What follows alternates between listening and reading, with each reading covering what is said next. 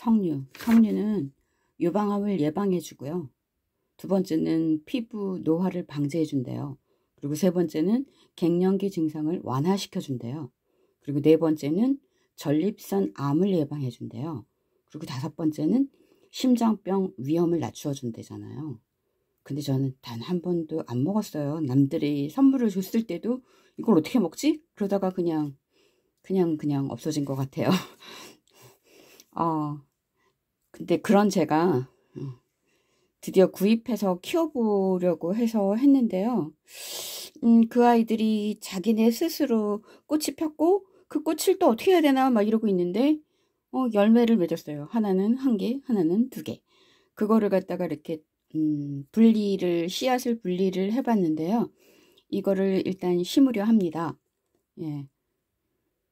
일단은 여기다가 각각 10개씩 한번 심어보려고요. 씨앗이 잘 만들어졌는지 모르겠는데 일단은 저는 물을 주고 화분에 물을 주고 또 여기도 주고 음, 세 곳에 나누어서 이렇게 심어보려 합니다.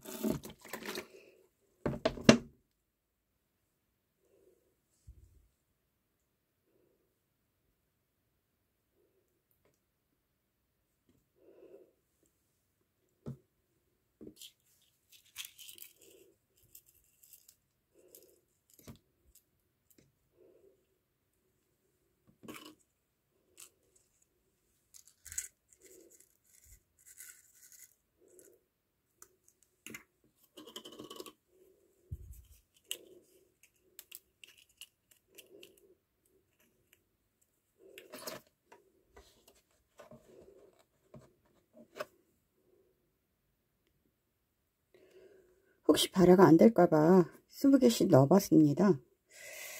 음, 그리고 흙을 다시 덮고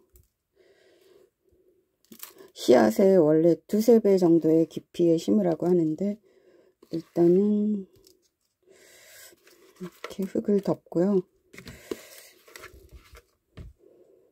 잘 자라도록 기도해야겠죠? 잘 됐으면 좋겠습니다. 근데 아직은 석류가 많이 열매가 맺어도 사실 지금 그렇습니다. 좀 먹는 게 아직 익숙하지가 않아요. 씨앗까지 먹어야 되고 껍질도 몸에 좋은 거라 뭐 그걸 다 말려서 차로 먹어 먹으면 좋답니다. 그러니까 석류는 하나도 버릴 게 없대요.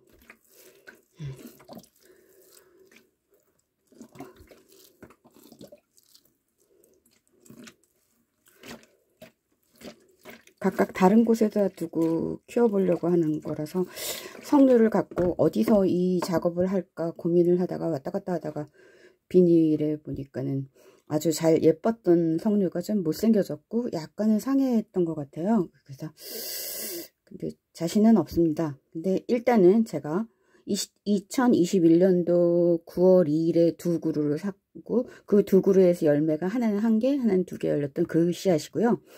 그 다음에 22년도에 그 봄에 봄인지 여름인지 정확히 모르겠어요. 예. 가을엔 안 샀던 것 같고 예. 아 가을에 샀나? 예. 세 개를 샀어요. 예. 그러니까 총 성류는 다섯 개가 있습니다. 예. 감사합니다. 여러분도 한번 심어보세요.